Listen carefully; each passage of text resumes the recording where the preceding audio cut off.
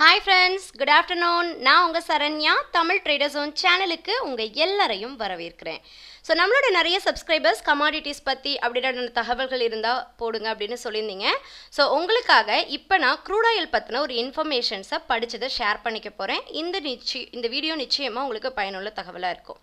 So இந்திய பொருளாதாரத்தோட அபரிவிதமான வளர்ச்சியால் கச்சா எண்ணெய் உற்பத்தி மற்றும் சுத்திகரிப்பு போன்றவற்றில் சுமார் நூறு பில்லியன் டாலர் முதலீடு செய்ய உள்ளதா சவுதி இளவரசர் தெரிவிச்சிருக்கிறதா குறிப்பிட்டிருக்காங்க.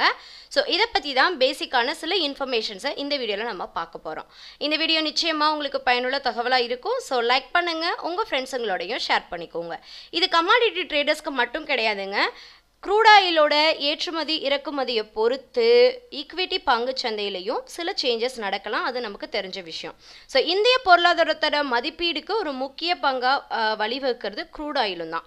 ஸோ அதை பற்றின இன்ஃபர்மேஷன்ஸ் எல்லாருக்குமே கண்டிப்பாக தெரிஞ்சுக்க வேண்டிய ஒரு இன்ஃபர்மேஷன்ஸ் ப்ளஸ் பயனுள்ள தகவலும் கூட. இப்போ நம்ம வீடியோக்குள்ளே போகலாம் இந்தியாவின் கச்சா எண்ணெய் தேவையை பூர்த்தி செய்வதில் முதலிடத்தில் உள்ளது சவுதி அரேபியா.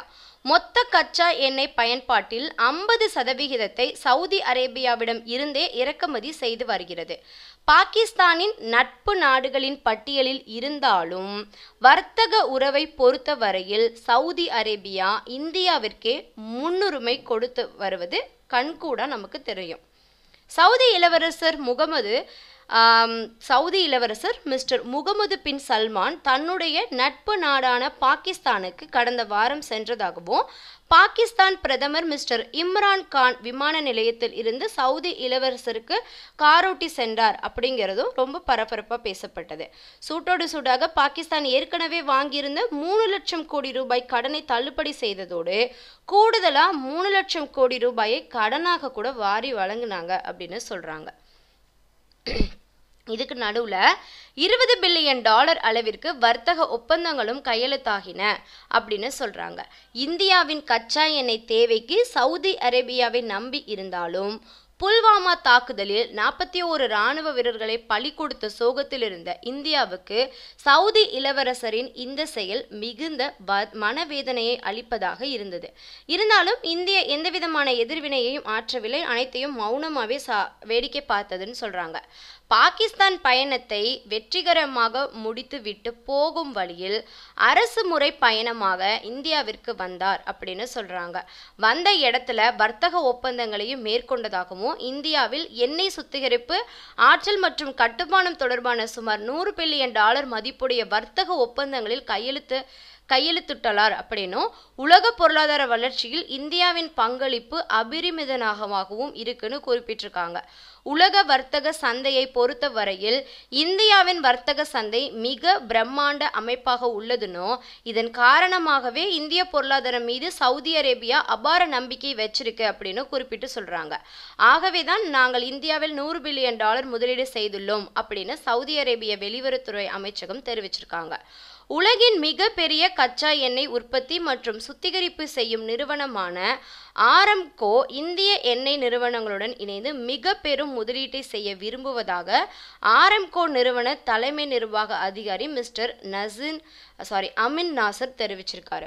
ஸோ இது எல்லாமே க்ரூடாயிலுக்கும் இந்திய பொருளாதாரக்கும் ஒரு பாசிட்டிவான நியூஸ் அப்படின்னு தான் எக்ஸ்பர்ட் சொல்கிறாங்க ஸோ இதெல்லாம் இதெல்லாம் தான் முக்கியமாக இன்றைக்கி நாம் க்ரூடாயிலை பற்றி தெரிஞ்சுக்க வேண்டிய ஒரு தகவலாக இருக்குது இந்த வீடியோ நிச்சயமாக உங்களுக்கு பயனுள்ள தகவலாக இருக்கும். ஸோ லைக் பண்ணுங்கள் கூடவே இந்த வீடியோவை உங்கள் ஃப்ரெண்ட்ஸுங்களோடையும் ஷேர் பண்ணிக்கோங்க. ஸோ ஆல்ரெடி க்ரூட் ஆயிலோட ஏற்றுமதி இறக்குமதியில் இந்திய பொருளாதாரம் ப்ளஸ் உலக பொருளாதாரம் எந்த அளவுக்கு ஒன் பை ஒன்னாக நியூஸ் கொடுத்துட்ருக்கு அப்படிங்கிறத நம்ம பார்த்துட்ருக்கோம் அதோட ரேலியாக க்ரூட் ஆயிலோட ப்ரைஸ் இன்க்ரீஸ் ஆகிறதையும் நம்ம இங்கே பார்த்துட்ருக்கோம் கிட்டத்தட்ட நமக்கு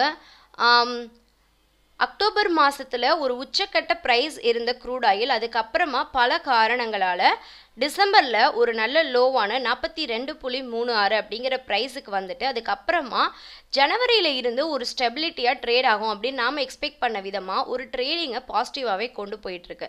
ஸோ நாற்பத்தி ரெண்டு அப்படிங்கிற லெவலில் லேலி ஆரம்பிக்கப்பட்ட க்ரூட் ஆயில் வெள்ளிக்கிழமை முடிவடைந்ததில் ஐம்பத்தி ஏழு புள்ளி எட்டு ஒன்று அப்படிங்கிற லெவலில் போயிருக்கு.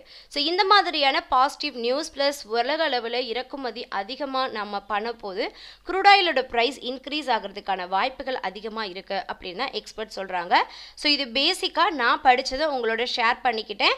ஸோ இந்த தகவல் உங்களுக்கும் பயனுள்ள தகவலாக இருந்தால் லைக் பண்ணுங்கள் கமெண்ட்டில் உங்கள் கருத்துக்களை பகிர்ந்துக்கோங்க. இதே மாதிரி பயனுள்ள தகவலோட அடுத்த வீடியோவில் உங்களை சந்திக்கும் முறை உங்களிடமிருந்து விடைபெறுவது உங்கள் சரண்யா.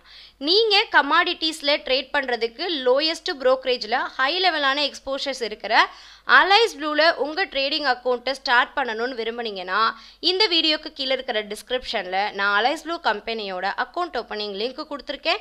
அந்த லிங்க்கை கிளிக் பண்ணி உங்கள் டீட்டெயில்ஸ் அப்டேட் பண்ணி ஆன்லைன்லேயே உங்கள் ட்ரேடிங்கை நீங்கள் ஸ்டார்ட் பண்ணலாம்.